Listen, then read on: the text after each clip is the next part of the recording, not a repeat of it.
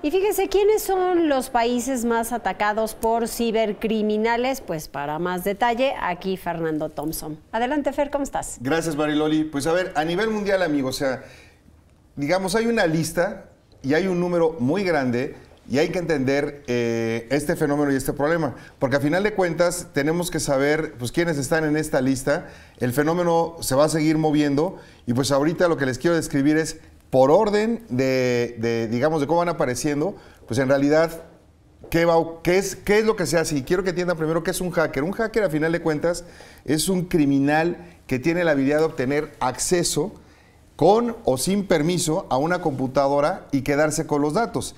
El hackeo es una actividad criminal hoy que da más dinero, amigos, que el narcotráfico, venta de armas y trata de personas. O sea, es la actividad criminal más lucrativa y los países más atacados por orden de desgracia son, primero, Estados Unidos, que recibe la mitad de todos los ataques, le siguen Japón, Brasil, Canadá, Australia y agárrense, México.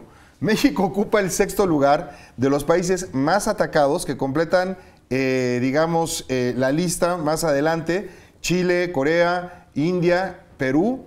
Y pues bueno, miren, para dimensionar el problema, eh, les detallo que se estima fueron al menos 53 millones de ciudadanos estadounidenses que se vieron afectados por el ciberdelito. Tan solo perdieron 6.900 millones de dólares en el 2021 por delitos relacionados con la cibernética, incluidas, escuche usted, estafas, románticas por 956 millones de dólares, engañaron ahí a las personas, estafas de inversiones falsas, 1.400 millones de dólares, ataques de correo electrónico empresarial, 2.390 millones de dólares. Wow. Ahora, lo peor para el 2024, Mariloli, amigos, se calcula pérdidas a nivel mundial de más de 15 trillones de dólares, es decir, 15 millones de billones de dólares. Ahora, en México los ataques van a llegar a partir de emails de compañías, medios sociales,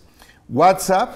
Los más populares van a ser los denominados phishing, que son mensajes apócrifos vía mensajes de texto o correos electrónicos, el secuestro de información conocido como ransomware y las compañías como su principal objetivo, aunque también van a llegar, eh, digamos, programas de software muy dañinos conocidos como troyanos, spywares, entre otros. Ahora, ¿por qué? Bueno, hay varias razones. Primero, la primera es la ingenuidad de las personas y de las empresas, una baja inversión en ciberseguridad, el uso de videojuegos, música, películas y software pirata, porque en el 95% de los casos vienen contaminados con programas de software dañinos escondidos en los famosos USBs o al descargarlos de Internet, así como también la falta de un cibercomando y una estrategia nacional que invierta en proteger los principales activos digitales de la nación y sus ciudadanos. Pero, por el otro lado, también tenemos países con las mejores estrategias de ciberdefensa, es decir, aquellos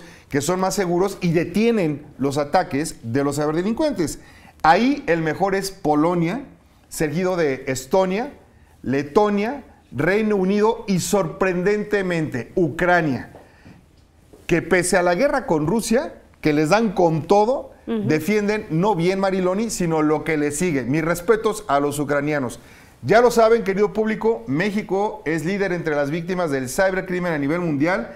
Así que el serio problema de seguridad que enfrenta el país, desafortunadamente también hoy es, es, digital, así que hay que cuidarnos, Mariloli, en todos los ámbitos. Sí, así es, en todos. Hay que poner mucha precaución y siempre digo, ¿por qué el ser humano trabaja como para la maldad?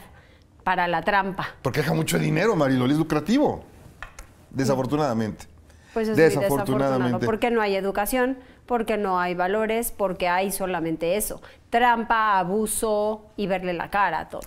Es que imagínate, por ejemplo, un ciberdelincuente no se tiene que exponer porque anteriormente tú decías, es un cuate en un garage. No, ahora ya son organizaciones completas, muchas días financiadas como compañías con una estructura completa y trabajan de forma tal, por ejemplo, que te atacan desde un lado y aparenta que el otro. Ya ves lo que pasó con presidencia. Así es. Dicen que el ataque fue desde España, no fue desde España, no sabemos dónde están y se salieron con la suya.